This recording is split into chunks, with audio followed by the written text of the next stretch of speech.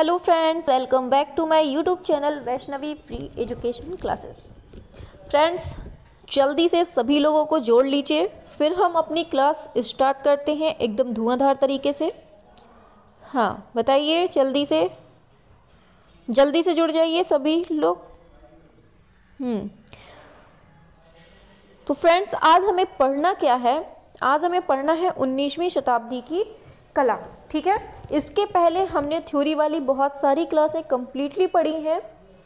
आप आराम से जाकर नीचे डिस्क्रिप्शन बॉक्स पर जाएँगे तो वहाँ पर प्लेलिस्ट बनी हुई है थ्योरी वाली तो आप वहाँ से जाकर कम्प्लीटली बहुत अच्छे से पढ़ सकते हैं। ठीक है? हाँ। तो सभी को good morning good morning good morning चलिए स्टार्ट करते हैं। हाँ चलिए। सभी लोगों की बहुत रिक्वायरमेंट थी कि मैम थ्योरी वाली क्लास मत बंद करिए। हाँ अच्छा लगा कि चलो बच्चे हैं तो हाँ पढ़ना चाहते हैं, पढ़ना चाहते हैं बच्चे। हाँ तो चलिए स्टार्ट करते हैं अपनी क्लास तो ये जो क्लास है, वो T G T P G T art दोनों के लिए है। बराबर इक्वली इंपॉर्टेंट है। और आज का जो टॉपिक है अपना, वो है उन्नीसवीं शताब्दी की कला। ठीक है? हाँ। चलिए फिर, करें स्टार्ट चलिए स्टार्ट करते हैं। पहला पॉइंट आता है, पहला जो टॉपिक आता है, हमें पढ़ना है इसके अंतर्गत प्रभाववाद। क्या पढ़ना है? प्रभाववाद, जिसे हम इंग्लिश में बोलते हैं इम्प्रेशनिज्म ठीक है? तो प्रभाववाद को इंग्लिश में क्या कहते हैं? इम्प्रेशनिज्म ठीक है? पहला पॉइंट आता है, आधुनिक चित्रकला का प्रधान केंद्र क्या है? क्या था? आधुनिक चित्रकला का जो प्रधान केंद्र था, वो क्या था? वो फ्रांस था। देखिए, सभी लोगों को बहुत प्रॉब्लम होती थी। ये वाद जितने भी हैं, सभी को बहुत प्रॉब्लम होती थी इनमें। सभी लोग बोलते थे कि, मैम, इसको करवा दीजिए करवा दीजिए। तो देखिए, अब आपके सामने हो रही है क्लास तो सभी लोगों को ऐड कर लिया करिए। ठीक है? हाँ। तो क्या है? आधुनिक चित्रकला का प्रधान केंद्र कौन था? ये था फ्रांस। फिर आता है आधुनिक कलावादों का जन्म स्थान क्या है? तो ये है फ्रांस। ठीक है? कुल मिलाकर याद रखना है कि आधुनिक चित्रकला का संबंध अगर पूछा जा रहा है एग्ज़ाम में तो कहाँ पर मानेंगे हम? फ्रांस में। ठीक है? देखिए, ये चित्र बना हुआ है। देखने में बहुत प्यारा लग रहा है। देखते हैं आगे क्या है। इस चित्र में दिखाया गया है बांसुरी वाला, द फाइफर। ठीक है? कब बना है? अठारह में बना है और किस माध्यम में बना है? तेल रंग से बना है। और रखा कहाँ गया है इसको? पेरिस में। बांसुरी वाला कहाँ रखा गया है? पेरिस में। किसमें बनाया गया है? तेल रंग में। और बनाने वाले कौन हैं? ये हैं एडर माने। कौन है? एडर माने। ठीक है? तो एक बार फिर से देख लीजिए, ये बांसुरी वाला चित्र किसमें बना है? तेल रंग में बना है। रखा गया है लंदन में। सॉरी, पेरिस में। आगे देखते हैं। आ जाता है उन्नीसवीं शताब्दी में आधुनिक चित्रकला का जन्म हुआ। आधुनिक चित्रकला का जन्म किससे माना जाता है? प्रभाववाद से इम्प्रेशनिज्म से। ठीक है? फिर पूछा जा रहा है, प्रभाववादी चित्रकार का जो मुख्य विषय था, वो क्या था? वो था वातावरण और प्रकाश। मतलब प्रभाववादी जो काम कर रहे थे, किस पर? वातावरण पर और प्रकाश पर। आगे चलते हैं। प्रभाववाद का जन्म कहाँ पे हुआ है? फ्रांस में हुआ है। और उनका विषय क्या था? वातावरण और प्रकाश। ठीक है? फिर आता है माने द्वारा। आता है पॉइंट, माने द्वारा शुरू की गई शैली, जिसमें छाया प्रकाश के स्थान पर रंगों का प्रयोग करके गोलाई एवं स्थूलत्व का एहसास कराया गया है। उसे परंपरावादी समीक्षकों ने क्या कहा है? प्रभाववाद। ठीक है? समझ गए? आगे बढ़े? चलिए, आगे बढ़ते हैं। आगे आता है, माने का जन्म कब और कहाँ हुआ था? तो कब हुआ था? तेईस जनवरी को अठारह ईस्वी में हुआ था। किसका जन्म? माने का। और कहाँ पर हुआ था? फ्रांस की राजधानी पेरिस में। कहाँ पर हुआ था ये? फ्रांस की राजधानी पेरिस में। ठीक है? फिर नेक्स्ट पॉइंट आता है, प्रभाववाद का प्रथम चित्र कौन सा था? फ़र्स्ट चित्र पूछ रहा है। ये था सूर्योदय का प्रभाव। बहुत इंपॉर्टेंट है। जो फ़र्स्ट और लास्ट चीज़ होती है ना, ये बहुत इंपॉर्टेंट होती है। तो पहली चीज़ पूछी है इसमें, प्रभाववाद का फ़र्स्ट चित्र कौन था? तो ये था सूर्योदय का प्रभाव। ठीक है? आगे बढ़ते हैं। बोल रहा है प्रभाववाद, अरे, बोल रहा है प्रभाववाद के जनक कौन है? तो ये हैं क्लोद मोने। कौन है ये? क्लोद मोने हैं। पूछ रहा है सूर्योदय का प्रभाव इम्प्रेशन सनराइज का चित्रकार कौन है? कौन है ये? क्लोद मोने हैं। और ये ही सबसे पहला चित्र है जो प्रभाववाद में बनाया गया था।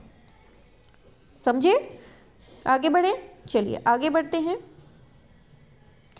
आगे आता है, प्रभाववादियों की प्रथम चित्र प्रदर्शनी पेरिस। पूछ रहा है, प्रथम चित्र प्रदर्शनी पेरिस के नडार फ़ोटो सैलून में कब हुई थी? अठारह ईस्वी में। किसकी? प्रभाववादियों की पहली प्रदर्शनी कहाँ लगी थी? पेरिस में लगी थी। कहाँ पर? नडार फ़ोटो सैलून में और कब लगी थी? अठारह सौ चौहत्तर में। फिर आता है अठारह सौ उनसठ ईस्वी में माने का सर्वप्रथम जो चित्र था वो था शराबी द एपने सॉरी द एप्सिंथ ड्रिंकर। इसका जो माध्यम था, क्या था? इन्होंने तेल माध्यम में बनाया था। पूछ लेगा, यही जो ये इंग्लिश में लिखा है, इसी को हिंदी में लिख के बोल देगा, द एप्सिंथर ड्रिंकर। ये किसने बनाया है? तो क्या होगा राइट आंसर माने ने बनाया है और हिंदी में भी बोल सकता है, शराबी किसने बनाया है? माने ने किस माध्यम में? कैनवास पर तेल से। ठीक है? समझ गए होंगे? फिर आता है शराबी एब्सिंथ टिंक ड्रिंकर ये चित्र है किसका? माने का है। वही चीज़ रिपीट हो रही है। आगे। आता है तृण पर भोजन। बहुत पूछा जाने वाला क्वेश्चन है बेटा। तृण पर भोजन किसने बनाया है? माने ने। ठीक है? हाँ आगे बढ़ते हैं। वर्ष अठारह ईस्वी का तेल माध्यम से कैनवास पर बना माने का प्रसिद्ध चित्र क्या है? तृण पर भोजन, the the luncheon, on the grass. ठीक है? ये कहाँ पर रखा गया है इस टाइम पर? पेरिस में। तो तृण पर भोजन कहाँ रखा गया है? पेरिस में। बनाने वाले कौन है? माने हैं। और किस माध्यम में बना है? तेल के माध्यम में। ठीक है? केवल इतनी बात। आगे। आगे बोल रहा है, the luncheon in the studio अठारह सौ अड़सठ में बना है। तेल के चित्र का वही चीज़ बोल दी है नीचे अलग से। तो किसने बनाया है? माने ने। ठीक है? देखिए, एक ही पॉइंट को चार चार बार पढ़ेंगे ना तो दिमाग में बिल्कुल से सेट होना पड़ेगा। सेट ना भी होगा, तब भी होना पड़ेगा। हम लोग ना बिल्कुल से जिद्दी बन के पढ़ना है हम लोगों को। कि कब तक नहीं आएगा दिमाग में? एक ना एक दिन तो सेट होना ही पड़ेगा हमारे दिमाग में इसको, क्योंकि हमें सिलेक्शन लेना है, अपने हाथ में सर्विस लेटर लेकर आना है। है ना? चलिए, आगे बढ़ते हैं। माने के the dead Christ and the angels कब बना है? अठारह सौ ईस्वी में। इसका शीर्षक, तेल ये मतलब बना किसमें है? तेल चित्र में बना है और ये सुरक्षित कहाँ किया गया है? तो ये न्यूयॉर्क अमेरिका में रखा गया है। पूछा जाएगा, the dead Christ and the angels किसका चित्र है? ये है माने महोदय का। किसका है ये? माने का चित्र है। कब बना? अठारह में। किस माध्यम में? तेल में। और रखा कहाँ गया है? न्यूयॉर्क में। आगे। बांसुरी बांसुरी वाला द फाइफर। ये चित्र किसका है? ऊपर पढ़ा है अभी हमने। माने का है। कब बना? अठारह सौ तिहत्तर में। ठीक है? एक मिनट को ये भूल जाएँगे। अठारह सौ तिहत्तर में बना, लेकिन ये मत भूलिएगा कि बांसुरी वाला है किसका? ये है माने का। ठीक है? बढ़े आगे। चलिए। बोल रहा है ओलंपिया। बहुत बहुत बहुत ज़्यादा इंपॉर्टेंट है। आज की क्लास पूरी जितने भी पॉइंट दिख रहे हैं ना, आज की क्लास नहीं, जितनी भी थ्योरी हमने कराई है आज तक। हर एक एक पॉइंट रामबाड़ सीरीज़ मतलब रामबाड़ है हर पॉइंट पता नहीं कौन सा पॉइंट आपके एग्ज़ाम में आ जाए और आपको पता भी नहीं चलेगा। इसलिए थ्योरी जितनी पढ़ाई है, बहुत अच्छे से पढ़ लीजिएगा और चार चार बार पढ़ लीजिएगा। जितना आपको टाइम मिले, उतनी बार पढ़ लीजिएगा थ्योरी ठीक है? बोल रहा है, ओलंपिया के चित्रकार कौन है? एडगर माने हैं। ठीक है? आगे। माने के चित्र, ओलंपिया में स्त्री की लेटी हुई आकृति दिखाई गई है। ठीक है? स्त्री की लेटी हुई आकृति किसमें दिखाई गई है? ओलंपिया में। और ये किसकी है? ये वैश्या है। क्या दिखाया गया इसमें? वैश्या है। आगे। ने, नेक्स्ट पॉइंट आता है। एडवर्ड माने का तेल चित्र स्पेनिश गिटार प्लेयर बहुत इंपॉर्टेंट पूछेगा स्पेनिश गिटार प्लेयर किसका है? माने का है। किस माध्यम में बना है? तेल माध्यम में बना है। और द स्पेनिश सिंगर ये किसका है? ये भी माने का है। ठीक है? सुरक्षित कहाँ किया गया है? इसको रखा गया है न्यूयॉर्क कहाँ पर? न्यूयॉर्क में रखा गया है। ठीक है? हाँ। चलो। चलो। बस बस बस। एक सेकेंड।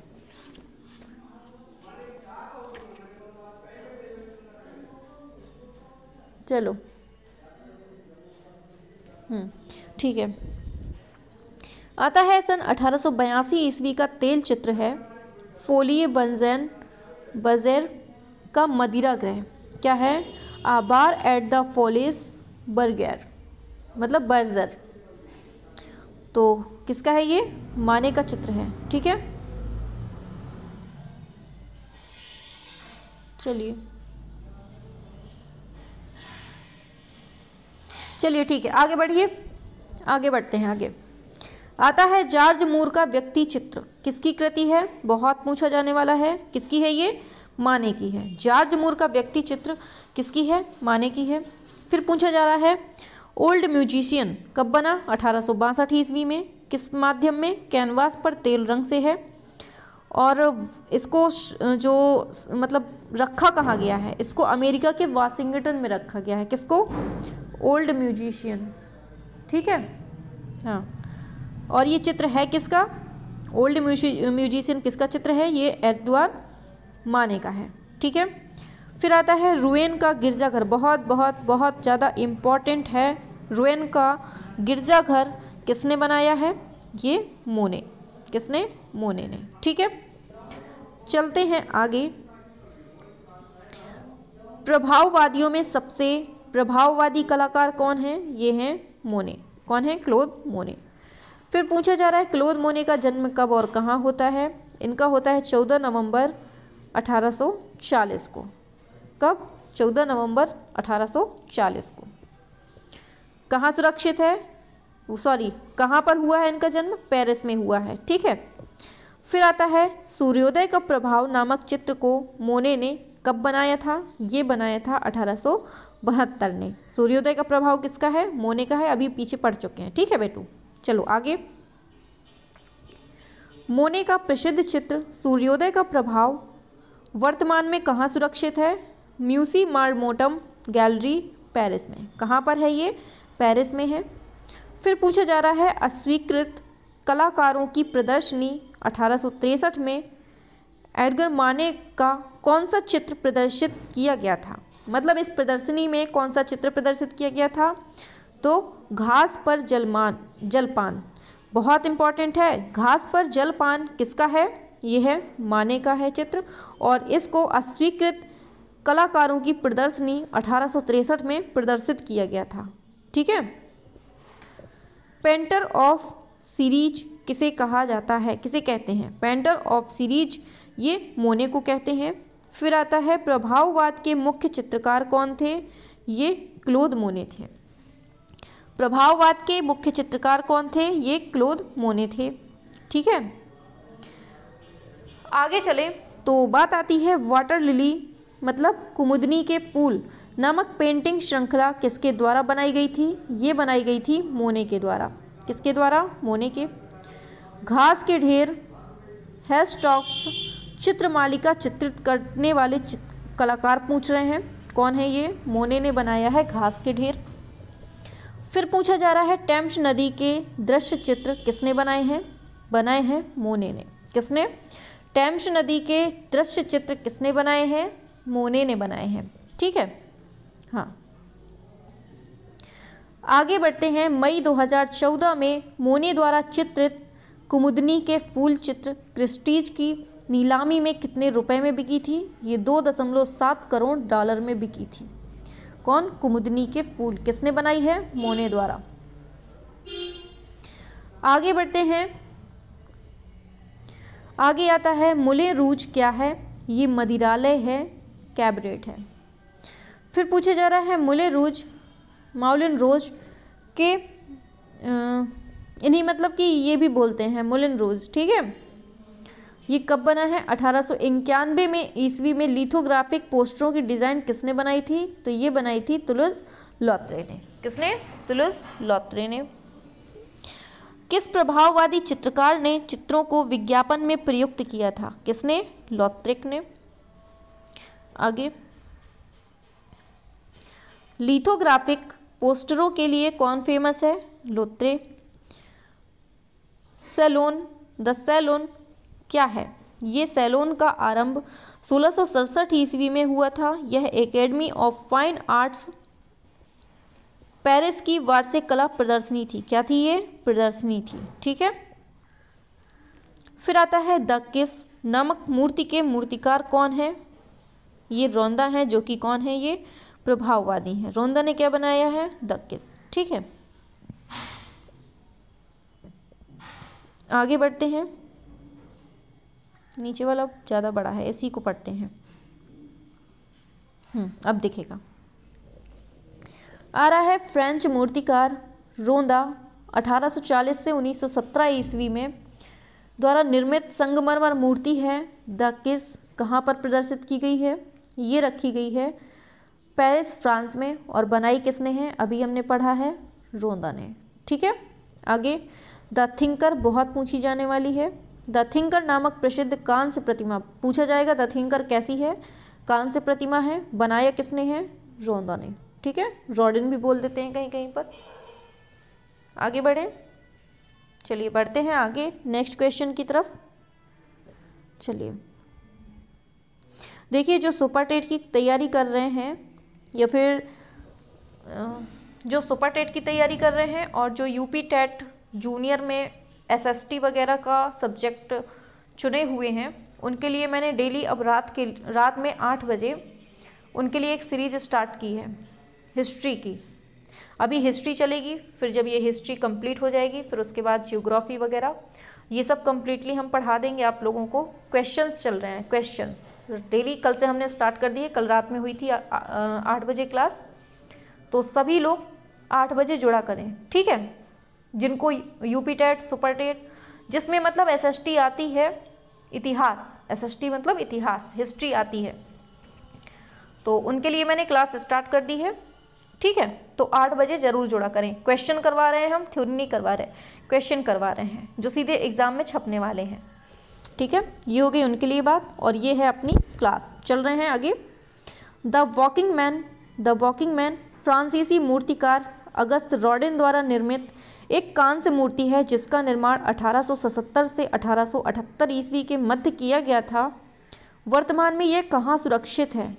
तो ये National Gallery of Art, Washington DC, America में। कहाँ पर? अमेरिका में है। फिर पूछा जा रहा है, कौन प्रसिद्ध महिला, प्रभाववादी कलाकार हैं? कौन है? Mary Cassatt. ठीक है? पेरिस के बगीचे में जान ऑब्रिल। पेरिस के बगीचे में जान ऑब्रिल ये चित्र किसने बनाया है? किसने बनाया है? लॉत्रिक ने। ठीक है? तो ये बात हो गई यहाँ तक। आगे बढ़ते हैं। आगे चलते हैं। सलोदा रिफ्यूजेस बहुत पूछा जाता है। तो सलोदा सलोदा रिफ्यूजेस ये क्या था? ये अठारह ईस्वी में पेरिस के सलोन के आधिकारिक जूरी द्वारा अस्वीकृत किए गए चित्रों की एक प्रदर्शनी थी। आगे। किस कलाकार ने पेस्टल रंगों तथा गतिशील फोटोग्राफिक आकृतियों के द्वारा चित्र निर्माण किया था? एडगर देगा ने। ठीक है? ये हो गया। आगे बढ़, अरे। हम्म आगे बढ़ते हैं। अरे, ये तो शुरू से स्टार्ट करना पड़ेगा। चलिए, कर लेते हैं।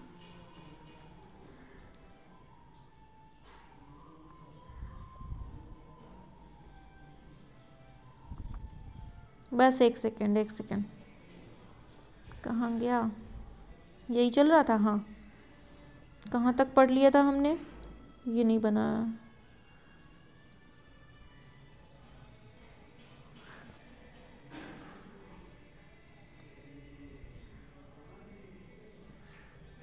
हम्म, ये देख लिया था।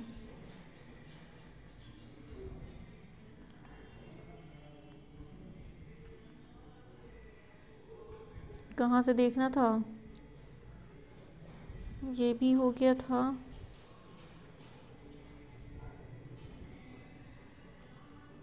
हाँ यहाँ तक हो गया था। अब यहाँ से स्टार्ट करना है है ना? तो पूछ रहा है पेस्टल रंगों द्वारा बैले नर्तकियों का त्वरित चित्रण किसने किया था? ये किया था एडगर देगा ने। फिर बोल रहा है, एडगर देगा द्वारा after the bath women drawing herself कृति में कौन सी तकनीक का प्रयोग किया गया? कौन सी टेक्निक का? तो ये पेस्टल टेक्निक का इसमें यूज़ किया गया था, ठीक है? आगे, यथार्थवादी प्रभाववादी यथार्थात सॉरी यथार्थात्मक प्रभाववादी रियलिस्ट इम्प्रेशनिस्ट किस कलाकार को कहा जाता है? ये कहते हैं एडगर देगा को। फिर आता है, बलेरिना मूर्ति किसके द्वारा बनाई गई थी? ये देगा के द्वारा। National Gallery of Art Washington में सुरक्षित little fourteen year old dancer अठारह से अठारह ईस्वी नामक वैक्स मूर्ति के मूर्तिकार कौन थे? तो ये थे एडगर देगा। ठीक है? आगे बढ़ते हैं। अर्जन तुल में नाव की सैर। पूछ रहा है, अर्जन तुल में नाव की सैर किसकी रचना है? माने की है। फिर बोल रहा है, जापानी छापा चित्रों का विशेष महत्व है। किसमें? प्रभाववाद में। उकियो ए, ये जापान की छापा कला है। उकियो ए कहाँ की छापा कला है? ये जापान की है, ठीक है? फिर आता है सुमी ए, ये जापानी स्याही प्रिंट है। बहुत कन्फ्यूज़न होता है इंपॉर्टेंट भी है, पूछा भी जाता है। उकी ये क्या है? ये छापा कला है। सुमी ये क्या है? ये स्याही प्रिंट है, ठीक है? आगे बढ़ते हैं, आ जाता है। ग्रिफोन वाली स्नान मग्ना युवती किसका चित्र है? आग्योस्त रैनबा का। अगस्त रैनबा का है, ठीक है? क्या है ये? ग्रिफोन वाली स्नान मग्ना युवती, ठीक है? विख्यात चित्र, स्नान मग्ना युवतियाँ के चित्रकार कौन हैं? यही हैं अगस्त रैनबा, ठीक है? बूसे का चित्र है, डायना का स्नान। बहुत पूछा जाने वाला क्वेश्चन है, बूसे का चित्र क्या है? डायना का स्नान। किस इसको बार बार चित्रित किसने किया था? ये किया था अगस्त रैनबा ने। फिर पूछा जाएगा, न्यूड किसका चित्र है? ये रैनबर का चित्र है। ठीक है? आगे बढ़ते हैं। आता है 1910 ईस्वी का कैनवास पर बना रैनवा का तैल चित्र, न्यूड। वर्तमान में कहाँ सुरक्षित है? National Museum of Serbia, Belgrade में। फिर आता है गिभर्ट, सॉरी गिबर्टी के गेट्स ऑफ़ पैराडाइज के जवाब में गेट्स ऑफ़ हेल का सृजन किस आधुनिक यूरोपियन मूर्तिकार ने किया था? किसने किया था? रोंदा ने किया था। किसने? रोंदा ने। ठीक है। आगे बढ़ते हैं तो लास्ट पॉइंट जो आता है इसका, प्रभाववाद का। अगस्त रॉडन द्वारा निर्मित कांस्य प्रतिमा द एज ऑफ़ ब्रॉन्ज कब बना? अठारह सौ छिहत्तर में। इसको सुरक्षित कहाँ किया गया है? बर्लिन। जर्मनी में। कब किया गया है? बर्लिन, जर्मनी में किया गया है। ठीक है? चलिए आगे बढ़ते हैं। प्रभाववाद यहाँ से कंप्लीट हो जाता है। अब आता है नव प्रभाववाद। क्या आता है? नव प्रभाववाद, जिसे हम न्यू इम्प्रेशनिज्म कहते हैं। अभी तक हम प्रभाववाद पढ़ रहे थे। अब जो नव प्रभाववाद है, उसको देखते हैं। ये है क्या? आखिर ये कहाँ से आया? कैसे हुआ? ठीक है? तो अब हम इसके बारे में देख लेते हैं। बहुत अच्छे से पढ़ेंगे। आता है नव प्र... हम्म, नव प्रभाववाद शब्द प्रयोग सबसे पहले किसने किया था? अठारह ईस्वी में फ्रांसीसी कला समीक्षक फेलिक्स फेनियो ने। किसने? फेलिक्स फेनियो ने। ठीक है? देखिए तीन प्रकार के प्रभाववाद हैं। पहले आता है नॉर्मल प्रभाववाद फिर आता है नव प्रभाववाद फिर तीसरा आता है उत्तर प्रभाववाद। ठीक है? तो हमने प्रभाववाद कंप्लीट पढ़ लिया है। अब पढ़ रहे हैं नव प्रभाववाद। ठीक है? तो नव प्रभाववाद शब्द का प्रयोग सबसे पहले किसने किया था? ये किया था फिलेक्स फिनोनन ने। ठीक है? फेलिक्स फिनोनन ने या फेनियो इसी को कहते हैं। तो कब किया था? अठारह में। देखिए ये चित्र क्या दिखा रहा है। इस चित्र में दिखाया गया है स्नान स्थल। क्या दिखाया गया है? स्नान स्थल। बाथर्स एस, सॉरी, बाथर्स एट एसनाइंस ठीक है? किसने बनाया है? जॉर्ज सोरा ने बनाया है। आगे देखते हैं। नव प्रभाववाद का जनक किसको कहते हैं? तो जॉर्ज सोरा को कहते हैं। नव प्रभाववाद का प्रथम चित्र स्नान स्थल अठारह ईस्वी में बनाया था। किसने? जॉर्ज सोरा ने। देखिए नव प्रभाववाद का प्रथम चित्र कौन है? स्नान स्थल है। और अभी अभी हमने पढ़ा था, प्रभाववाद का जो पहला चित्र है वो क्या था? करिए जल्दी से फटाक से कमेंट जो प्रभाववाद का फ़र्स्ट चित्र था, कौन था? अच्छा ठीक है, हम बताते हैं। प्रभाववाद का जो पहला चित्र था, वो था सूर्योदय का प्रभाव और नव प्रभाववाद का जो पहला चित्र दिखा रहा है, वो स्नान स्थल दिखा रहा है। और इसको किसने बनाया है? जॉर्ज सोरा को बनाया है, जबकि सूर्योदय का जो प्रभाव है, वो किसने बनाया था? वो क्लोद मोने ने बनाया था। ठीक है? रिवीजन हो गया। आगे बढ़ते हैं। प्रख्यात चित्र, सर्कस के चित्रकार कौन हैं? ये हैं सोरा। बिंदुवादी कलाकार कौन था? ये सोरा था। बिंदु चित्रण पद्धति आरंभ करने वाले कलाकार का नाम ये है सोरा। आगे चलते हैं। ला ग्रैंडे जैते द्वीप पर एक रविवार अपराह्न, ये रचना किसकी है? ये सोरा की है। ठीक है, इसी को सूरा भी बोल देते हैं, इसी को सोरा भी बोलते हैं। ला ग्रैंडे चैत्य द्वीप पर एक रविवारी अपराह्न जो है, ये किसकी रचना है? स्यूरा की है। फिर बोल रहा है painting is the art of hollowing at surface यह कथन किसका है? ये सोरा का है। किसका है ये? सोरा का है। फिर आता है, सोरा को किसने हरा रसायन शास्त्री कहा? बहुत पूछा जाने वाला है। तो ये गोगिन ने कहा था किसको? सोरा को कहा था कि ये हरा रसायन शास्त्री है। ठीक है? आगे बढ़ते हैं। आगे आता है 1899 में प्रकाशित। यूजीन देलाक्रा ने यूजीन देलाक्रा से नव प्रभाववाद तक। ये पुस्तक के लेखक कौन हैं? ये हैं पॉल सिन्याक। कौन है ये? पॉल सिन्याक हैं। आगे। नव प्रभाववाद का प्रवर्तन जॉर्ज सेवरा के चित्र एसनियर्स पर स्नानार्थी से हुआ। इसी का एक अन्य नाम क्या है? ये है स्नान स्थल है। क्या है? स्नान स्थल। आगे बढ़ते हैं। किसी रंग के साथ साथ छाया से उसके पूरक अथवा विरोधी रंग का भी दिखाई देना युगपादत्व का सिद्धांत किसने प्रदान किया था? किसने प्रतिपादित किया था? तो ये दिया था शेव रूल ने। किसने? शेव रूल ने। ठीक है? आगे बढ़ते हैं। विस्लर के चित्र, nocturne in black and gold पर 1877 ईस्वी में किसने टिप्पणी की थी? की थी?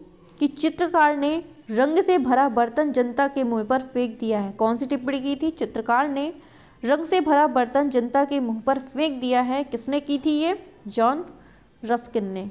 अरे किसने की थी? हम्म, हाँ जॉन रस्किन ने ठीक है?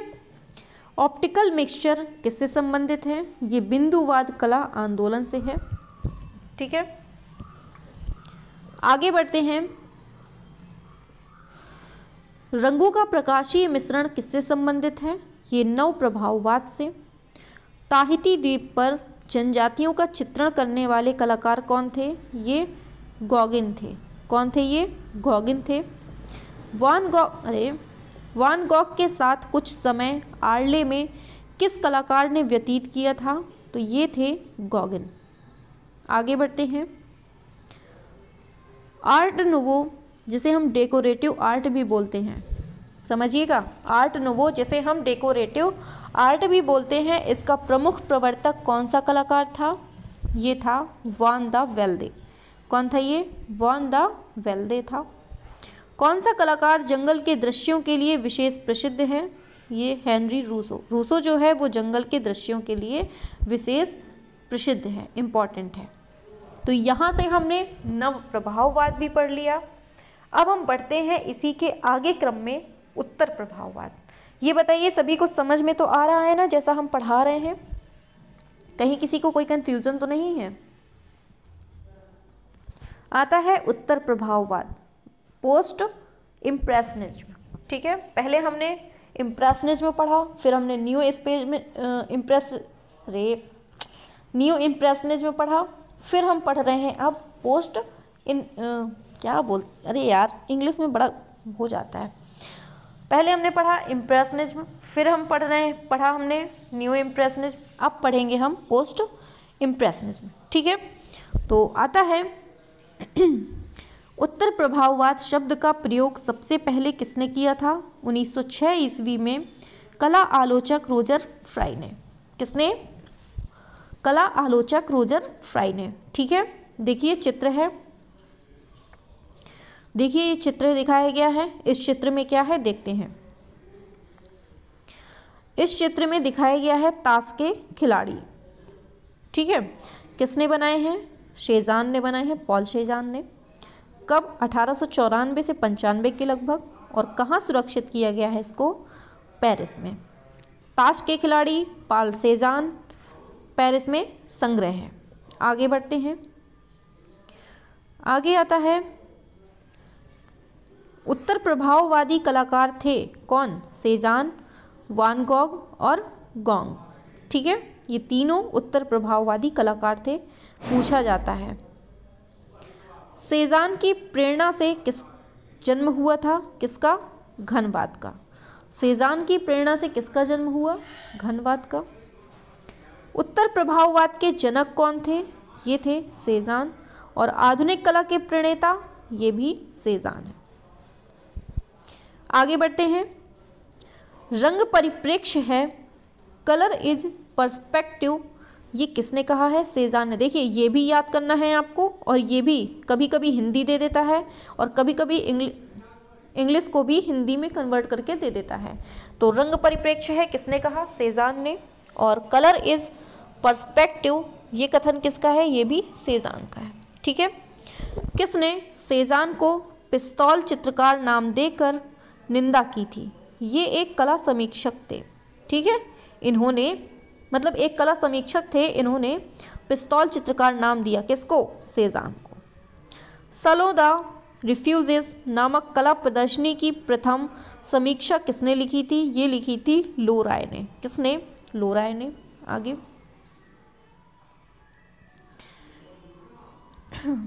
आगे। रेखा में रंग की शक्ति होती है। अरे। रेखा में रंग की शक्ति होती है। Line has the power of colour. यह युक्ति किस, यह उक्ति किसकी है? ये पॉल गोंग ने कहा है। ठीक है, रेखा में रंग की शक्ति होती है, किसने कहा है? गोंग भाई साहब ने। आधुनिक ओलंपिया, मॉडर्न ओलंपिया चित्र किसका है? ये है शेजान का। किसका है ये? शेजान का। फिर पूछा जा रहा है, उत्तर प्रभाववादियों के प्रमुख चित्रकार कौन थे? ये सेजान थे। कौन थे ये? सेजान थे। आधुनिक कला का पिता किसे कहा जाता है? ये भी सेजा को कहते हैं। आगे बढ़ते हैं। स्नान मग्न युवतियों के चित्रकार कौन हैं? ये सेजान है। गाना सुनाई दे रहा है क्या आप लोगों को? आज पता नहीं सुबह से हमारे मोहल्ले में क्या हो गया है कि बस गाने ही बज रहे हैं। पता नहीं कौन सी खुशी आ गई है। हो सकता है किसी का सिलेक्शन हो गया हो। आप लोगों को भी ऐसे ही सिलेक्शन लेके बस डीजे बजाना है। है ना? चलिए। स्नान मग्न युवतियों के चित्रकार कौन है? ये हैं शेजान ताश के खिलाड़ी, द कार्ड प्लेयर्स चित्र किसने चित्रित किया है? सेजान ने। देखिए, सभी लोग टाइम से आया करिए, ठीक है? इनमें से उत्तर प्रभाववादी कौन नहीं है? कुल मिलाकर याद रखना है कि जो बोनार हैं, ये उत्तर प्रभाववादी में नहीं है, ठीक है? ये याद रखना है। आता है वन गॉक का वन गॉक का पूरा नाम पूछा है तो ये है विंसेंट वॉन गॉक ठीक है? आगे बढ़ते हैं। आगे आता है डॉक्टर गैचेट ये चित्र किसने चित्रित किया है? वॉन गॉग ने आगे वर्ष अठारह सौ पचासी ईस्वी में तेल रंग से कैनवास पर निर्मित वॉन गॉग संग्रहालय एम्स्टर्डम में सुरक्षित पोटैटो ईटर्स। बहुत पूछे जाने वाला है। पोटैटो ईटर्स नामक प्रसिद्ध चित्र किसका है? ये है वॉन गॉग का है। पोटैटो ईटर्स किसका है? ये वॉन गॉग का है। ठीक है? द पोटैटो ईटर्स आलू भक्षी ये चित्रकार, इसके चित्रकार कौन है? वॉन गोंग है, अभी ऊपर देखा है। आगे, वर्ष अठारह सौ नवासी ईस्वी का तेल चित्र, तारों भरी रात, द स्टेरी नाइट का चित्रकार कौन था? ये विंसेंट वॉन गॉग था। क्या था? Vincent van Gogh. फिर आ रहा है द नाइट कैफ़े, किस कलाकार की रचना है? ये है वॉन गॉग की। फिर है वर्ष अठारह सौ पचासी ईस्वी में प्रसिद्ध उपन्यास लास्ट फॉर लाइफ जीवन के लिए वासना इवनिंग स्टोर इरविंग स्टोर ने किसके ऊपर लिखी थी? किसके ऊपर लिखी थी? वॉन कॉक के। सूर्यमुखी का चित्र किसने बनाया है? वॉन गॉग ने बनाया है। किसने बनाया है सूर्यमुखी का चित्र? वॉन गॉग ने। ठीक है? देखिए, हम जितना पढ़ा रहे हैं ना इसको एक बार तो पढ़ ही लेना है, आँखों से देख कर पढ़ना है। फिर दोबारा में आप क्या करिएगा? क्योंकि देखिए कन्फ्यूज़न बहुत होती है। मुझे पता है कन्फ्यूज़न बहुत ज़्यादा होती है बच्चों को।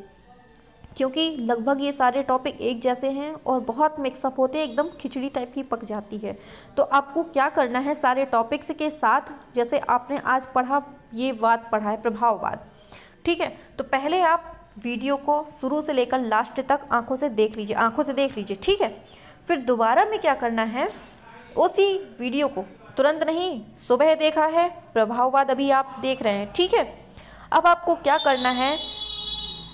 आज शाम को मतलब रात में जब सोने जाएँ, या तो रात में देख लीजिए, या फिर अगले दिन दोपहर में या शाम में, उस वीडियो को साइड में चलाकर, कान में हेडफोन लगाकर आराम से आँखें बंद करके बस सुनते जाइए। आप देखेंगे कि आपको सब कुछ याद हो गया है, बिल्कुल माइंड में सेटअप हो गया है।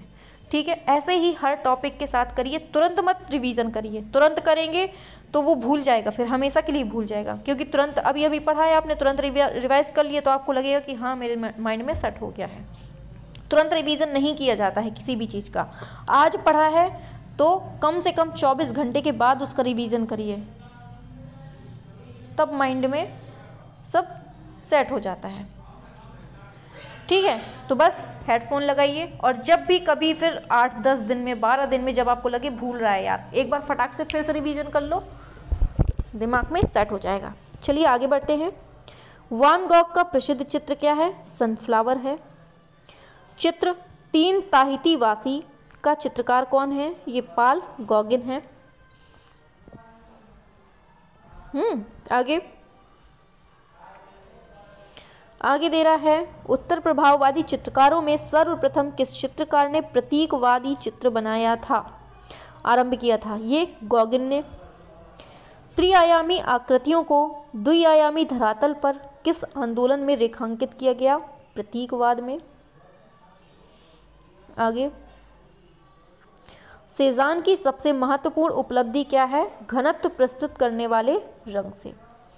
मैं एक नई कला का आदि प्रणेता प्रिमिटिव हूँ। ये किसने कहा है? ये सेजान ने कहा है कि मैं एक नई कला का आदि प्रणेता हूँ। आगे, भाववाद का सूत्रपात किसने किया है? ये गॉगिन ने किया है। अभिव्यंजनावाद का सूत्रपात किसने किया है? ये वॉन गॉग ने किया है। पीला ईसा किसकी कृति है? गॉगिन की है। ये बहुत पूछा जाता है। हम कहाँ से आते हैं, हम क्या हैं, हम कहाँ जा रहे हैं, ये चित्र किसका है, ये गॉगिन का है मोस्ट इंपॉर्टेंट है, याद रखिएगा। Maternity three women on the sea shore किसका चित्र है, ये गॉगिन का है। किसका है ये? गॉगिन का है। आगे चलते हैं, आता है डब्लू सॉमरशेट मोघम द्वारा लिखित उपन्यास द मून एंड सक्सपेंस किसके जीवन पर आधारित है? ये है गोगिन के, पॉल गोगिन के। आता है फिर नेक्स्ट गेहूँ के खेत में कौए किसका चित्र है? वॉन गॉक का है। वॉन गॉक के भाई का नाम क्या था? थियो। फिर आता है next point portrait of doctor Gachet के चित्रकार कौन है? ये हैं वॉन गॉग। कौन है? वॉन गॉग हैं।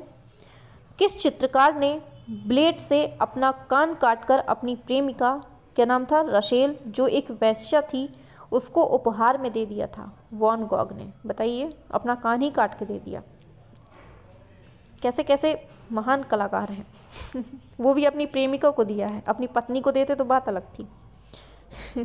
चलिए, आगे। आता है वॉन गॉग द्वारा बनाया गया सूर्यमुखी का फूल कहाँ सुरक्षित है? नेशनल गैलरी, लंदन में। उन्नीस सौ अट्ठासी ईस्वी में वॉन गॉग का फ़ील्ड ऑफ़ आयरिस नामक चित्र कुल कितने रुपए में बिका था? 21 करोड़ तेईस लाख साठ हज़ार रुपये में। कितने महँगी बिकती थी ना? चलिए। Van Gogh ear the true story पुस्तक के लेखक हैं कौन? Bernadette Murphy. कौन है? Bernadette Murphy. ठीक है। तुम्हा, तुम्हारा विंसेंट नाटक के निर्देशक पूछे हैं। कौन है? ये है सत्यव्रत राउत। प्रसिद्ध प्रिंट मेकर ऑडिलोन रेडॉन किस कलावाद से संबंधित है? उत्तर प्रभाववाद। आगे, यहाँ से हमारी थ्योरी कंप्लीट हो जाती है। अब जो क्वेश्चन आंसर करने हैं, वो हम क्वेश्चन कल करवाएँगे, ठीक है? जो ऑप्शनल ये क्वेश्चन है, क्योंकि काफ़ी सारे हैं। थ्योरी भी काफ़ी बड़ी थी तो क्वेश्चन तो कम होंगे नहीं, पचहत्तर क्वेश्चन है तो इन क्वेश्चंस को हम कल कंप्लीट करवाएँगे, ठीक है? तो बने रहिए हमारे चैनल के साथ वी एफ़ एजुकेशन के साथ, वैष्णवी फ्री एजुकेशन के साथ। जिसने भी चैनल सब्सक्राइब ना किया हो, जल्दी से, फटाक से कर लीजिए। और क्लास कैसी लग रही है सभी को? लाइक कमेंट शेयर सब्सक्राइब सब कुछ कर दीजिए, ठीक है? अगर पसंद आ रही हो, अगर पसंद। कोई ज़बरदस्ती नहीं है। बाकी आप लोग, आप लोगों का प्यार मिल रहा है, इतना ही काफ़ी है हमारे लिए। हाँ चलिए चलिए चलिए चलिए, शाबाश। चलिए, फिर मिलते हैं कल क्लास, कल नहीं, आज शाम को क्लास में। ठीक है, शाम को बेटा, शाम को। चलिए तो फिर हाँ एक जो बताया, बताना था हमको, शाम को जो आठ बजे क्लास हमने स्टार्ट कर दी है, आठ बजे super TET, UP TET, C TET, जो भी दे रहा है, या फिर अदर एग्ज़ाम जहाँ पर हिस्ट्री आती है, वहाँ पर शाम को आठ बजे एम होंगे तो सभी लोग उपस्थित हों। ठीक है? चलिए फिर, मिलते हैं शाम को सात बजे।